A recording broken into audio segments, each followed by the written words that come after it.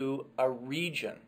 And they usually identify this region to be somewhere in Iraq between the Euphrates and Tigris rivers. With regards to human origins, progressive creationists believe that all humans descend from Adam and Eve, and they accept the foundational Christian beliefs that humans bear the image of God and that all humans are sinful. Progressive creationists are conservative Christians. They accept the incarnation and the resurrection, and their ethics are biblical. Your most important progressive creationist today is Hugh Ross, who runs the organization Reasons to Believe. Now, you'll notice I've put in brackets intelligent design theory or the intelligent design movement. It's a group of individuals that are pretty hard to pin down in terms of their exact views, especially on the Bible. But I would say the vast majority of them accept an old Earth and reject biological evolution. So that would put them in the camp of progressive creation. Evolutionary creation. It sure sounds like a contradiction in terms. But it's only a contradiction in terms if one uses popular definitions. That is, evolution is atheistic, with no God, and creation is origins in six literal days. But evolutionary creationists use professional terminology, whereby they are first and foremost creationists, that is, they believe in a creator. They believe that the creator made the universe and life through an evolutionary process. Theistic evolution is also a term used to describe this position. But personally, I don't like the term, and this is the reason why. You will note that the noun, which is the most important category in the term, is the scientific theory evolution, and that the word theistic, which of course comes from the Greek term theos, meaning God, whereby God is simply attached as an adjective. I don't like that inversion of order. I think God is a lot larger than any scientific theory. So that's why I prefer the term evolutionary creation. Well, what do evolutionary creationists believe? This will be a little surprising for many of you. Yeah, maybe some of you will even be shocked because most of us have been socially conditioned into believing that an evolutionist has to be an atheist. So evolutionary creationists, they accept teleology, plan and purpose in the universe. They also accept intelligent design. In fact, they'll argue that the evolutionary process reflects design. They accept the age of the universe to be in the billions of years.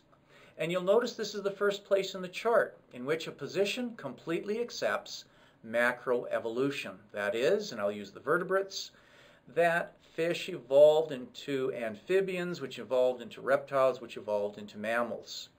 With no need of God moving the process along, rather, God set up this process in such a magnificent way that it evolved all by itself under his supervision. Evolutionary creationists believe that God created the universe and life indirectly through ordained and sustained natural processes.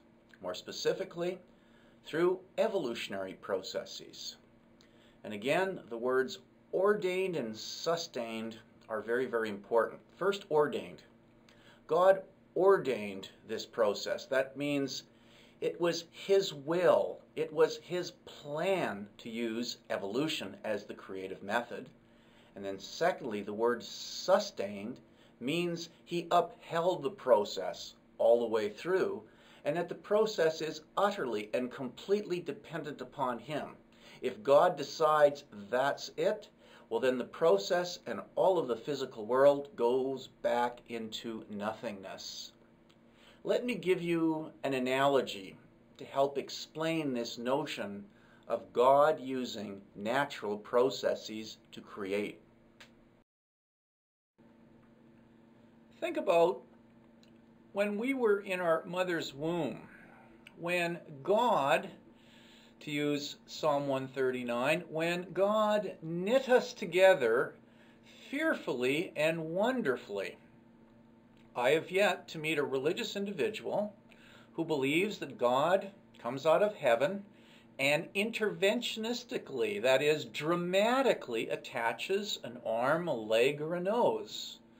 Rather, we see ourselves being created by God through natural embryological processes. So, with this analogy, think about the evolution of all living organisms in the same way, in which God uses evolution, and remember, it is His natural process, to create all of living organisms and to make them fearfully and wonderfully made as He knits them through an evolutionary process.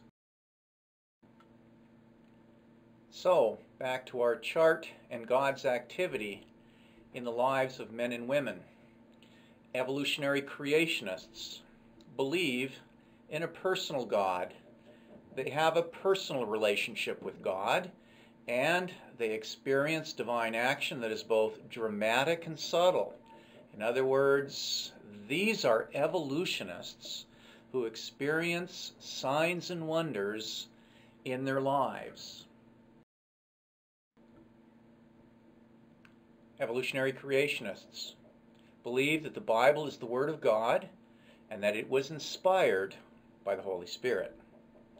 With regards to the interpretation of the first 11 chapters of the Bible, they underline that there are three important features. First, there's a divine theology. Second, there's an ancient science. And third, there's ancient poetry.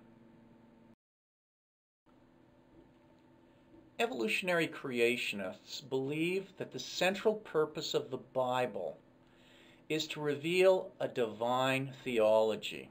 In other words, the purpose of the Bible is to reveal inerrant spiritual truths that will change our life. Five of the basic truths that we find in the opening chapters of the Bible include number one, God created the world. Number two, the world is very good. Number three, humans, and only humans, bear the image of God. Number four, humans, all humans have fallen into sin. And finally, God judges us for our sinfulness. Now, these spiritual principles, these spiritual truths, these are the ones that change people's lives and lead us to joyous living. I'll ask you now to flip your handout over to the front of the handout so we can get on to the second feature we find in Genesis 1 to 11. Evolutionary creationists also underline that there is an ancient science in the Bible. That is, that there is an ancient understanding of the physical world held by people thousands of years ago. In my mind, this is a central notion that needs to be grasped if we want to make sense of the origins debate, in particular of this view, evolutionary creation. Now, in the seventh lecture in this series, I'm going to focus entirely on this ancient science. But for our purposes, we're just going to look at a few characteristics right now. Now what you have before you is a diagram of the three-tiered universe that we do indeed find in the Bible. Now we don't have to go very far into the Bible to start seeing some of this. On the second day of creation, God creates a firmament, and that's exactly what the Hebrew word means. A hard, firm surface